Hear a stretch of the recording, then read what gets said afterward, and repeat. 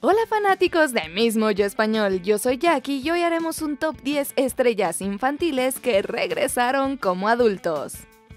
It's been a wild ride. Can you believe I have two daughters around your age? Kind of scary. I have so much to fill you in on. En esta lista conoceremos a las celebridades que se volvieron famosas cuando niños, luego desaparecieron y regresaron frente a las cámaras como adultos. No olviden pasar por Facebook y darle like a nuestra fanpage para más contenido original.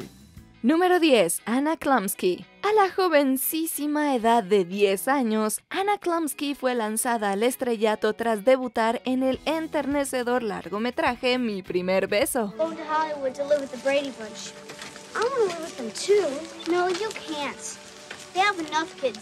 You'll have to live with the Partridge family. De 1999 al 2005, Klumsky se tomó un descanso de la industria del cine, durante el cual se graduó en estudios internacionales. Después de probar algunos trabajos como correctora de datos y asistente editorial, la actriz nacida en Chicago decidió volver a la pantalla.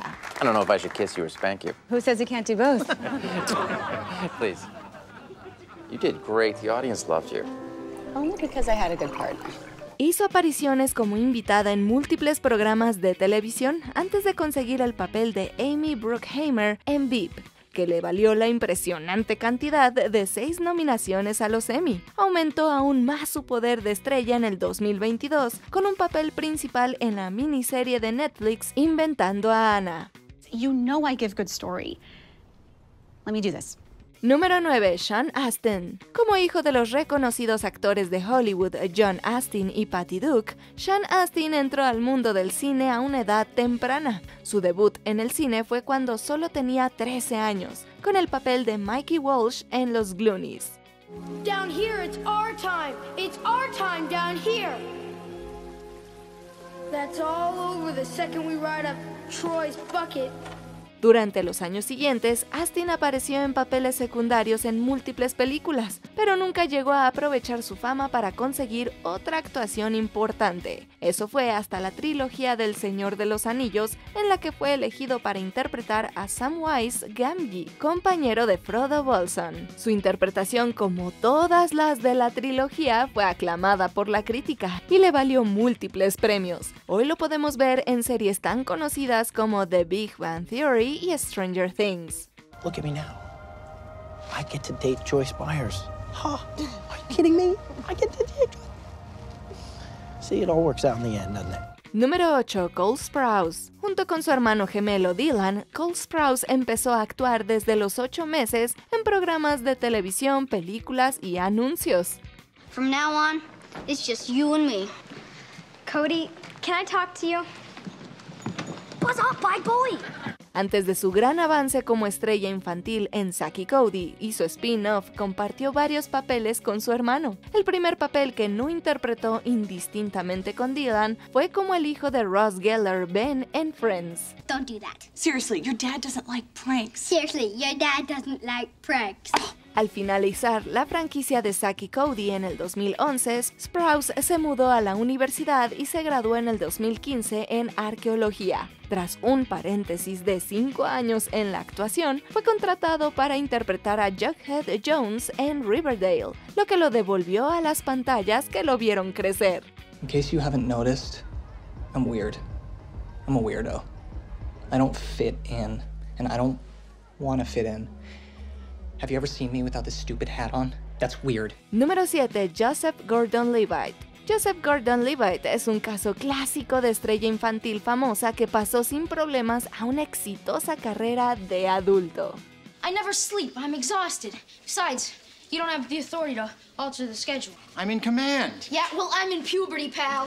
Pero lo que muchos no saben es que el actor, que empezó su carrera a los 6 años, se tomó un descanso de la difícil y rápida vida del superestrellato de Hollywood. Tras interpretar a Tommy Solomon en La Tercera Roca, Gordon Levitt se trasladó a Nueva York para asistir a la universidad, pero abandonó los estudios al cabo de unos años y volvió a actuar. Desde entonces ha aparecido en muchas películas exitosas e incluso debutó como director y guionista en el 2013 con la película Don John. Si algo es seguro es que Gordon parece haber descifrado el secreto para pasar de ídolo adolescente a hombre exitoso de Hollywood.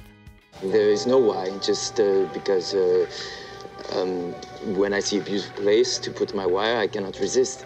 Número 6. Mayim Bialik. A principios de los años 90, Mayim Bialik se puso su sombrero funky y alcanzó la popularidad como el estrafalario personaje principal de Blossom, serie de la NBC. What if this is just a cruel hoax being perpetrated at my expense? I'll just die. I'm not making sense here, am I? But hey, what does? I mean, the state bird of Utah is the seagull. La serie fue alabada por su historia centrada en mujeres y por tratar temas serios que la mayoría de otras producciones de máxima audiencia evitaban en ese momento. Tras el final de Blossom, Bielik se alejó de los reflectores y se dedicó a obtener una licenciatura en ciencias en la UCLA. Volvió a la pantalla en el 2005 y continuó sus estudios en el campo de la neurociencia para adquirir su doctorado. Esto fue más o menos cuando empezó a interpretar convenientemente a la neurocientífica Amy Farrah Fowler en The Big Bang Theory, donde de hecho protagonizó junto a Johnny Galecki otra estrella infantil. Desde el 2021 es la presentadora de Jeopardy. It's an immense honor, especially for someone who's dedicated so much of my life to academia, to knowing things, and to being able to communicate things. Número 5. Drew Barrymore. Para muchas estrellas infantiles, la fama temprana puede resultar abrumadora y tener un impacto negativo en sus vidas. Lamentablemente, este fue el caso de Drew Barrymore, nacida en una familia de reconocidos actores, quien ya actuaban antes de saber leer. Su papel más destacado fue a los 7 años, cuando protagonizó E.T. el extraterrestre.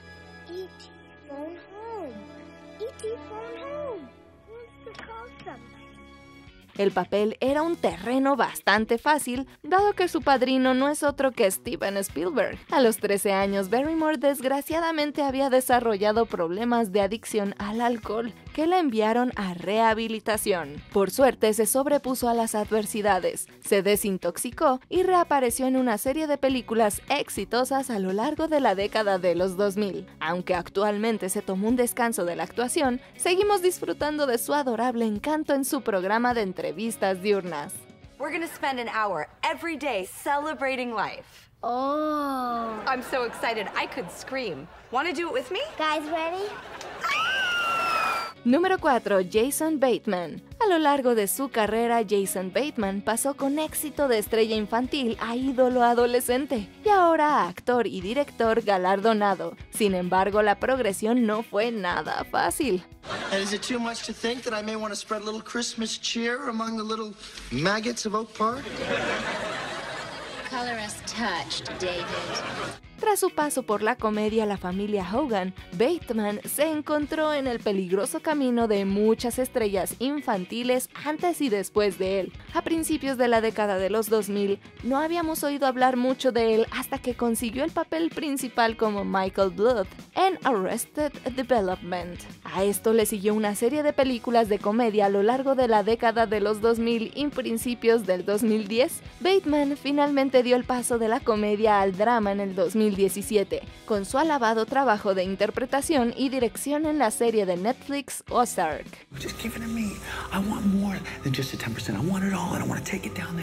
Número 3. Neil Patrick Harris. Tras ser descubierto en un campamento de teatro, Neil Patrick Harris consiguió su primer papel como actor profesional en la película de 1988 El corazón de Clara. Aunque recibió una nominación al Globo de Oro por esa producción, fue su interpretación del niño prodigio Doogie Howser la que lo catapultó a la fama. Now go get me something I can use for a leg brace. Go. Okay, clear away, folks. Come on, stay back. Who is this kid? That's my son. The doctor. Su carrera en la pantalla se estancó después de eso, pero Harris siguió activo en la escena de Broadway. En el 2004 apareció como una versión vulgar y ficticia de sí mismo en Harold y Kumar Van a White Castle. The Doogie line always works on strippers. Lap dance. Esto estableció el camino para su papel en Cómo conocía a su madre, la serie que revitalizó su carrera, que ahora cuenta con múltiples Emmys, un Tony y varios créditos como presentador de programas de premios. It's gonna be legend. Wait for it.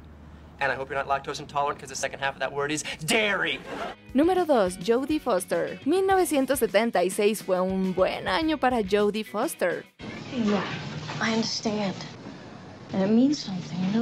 La inteligente actriz de ojos brillantes consiguió su gran papel en Taxi Driver de Martin Scorsese, ganadora de la Palma de Oro, que a ella le valió una nominación al Oscar con solo 14 años. Ese mismo año protagonizó otras cuatro películas y también presentó Saturday Night Live. En 1980 entró como estudiante a tiempo completo a Yale y cuando se graduó cinco años más tarde tuvo problemas para encontrar papeles en el cine. Pero esa situación desapareció con el drama de 1988, The Accused en el que Foster interpretaba a la sobreviviente de una agresión en busca de justicia. Este papel le valió su primer Oscar a Mejor Actriz y marcó el comienzo de muchas interpretaciones maduras por las que llegaríamos a conocer y amar a Foster.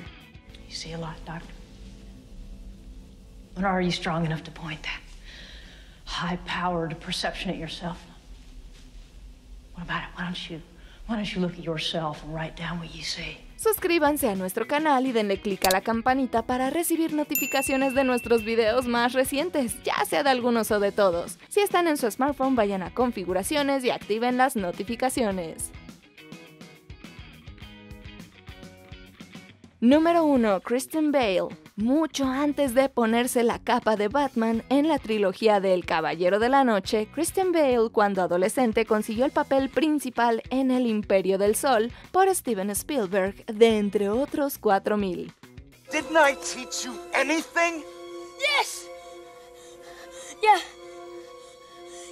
You taught me that people will do anything for a potato. La película le valió mucha fama, un estatus que empezó a disgustarle poco después. Sin embargo, persistió y aceptó muchos papeles menos populares durante la siguiente década.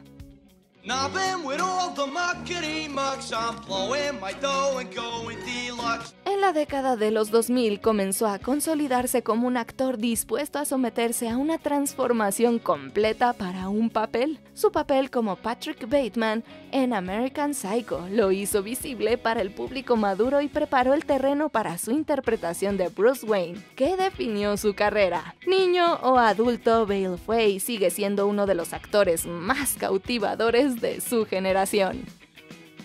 It's not who I am underneath, but what I do that defines me. Les recomendamos estos otros increíbles videos de Mismo Yo Español que seguramente los van a dejar con la boca abierta. Así que no olviden suscribirse y activar la campanita.